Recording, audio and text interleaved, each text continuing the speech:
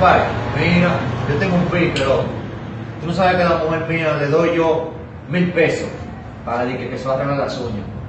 Y van de la mamá de las uñas allí, para allá arriba, y gasta los mil pesos. Y también tuve que darle como 400 para el salón, loco. Es un abuso que tienen con uno. Y hoy vengo yo para casi ni uno roto, tú sabes, a recortarme, a ver si tú me quieres fiar. No le pare que tú eres mío, no le pare que tú eres mío. En este 2019 tenemos que ponernos los pantalones a los hombres, las mujeres que nos paguen cabaña, las mujeres que nos paguen la peluquería, las mujeres que nos paguen de todo a nosotros, porque nada más son ellas. No, mentira del diablo. Lo que nosotros tenemos aquí abajo, ¿para cuándo?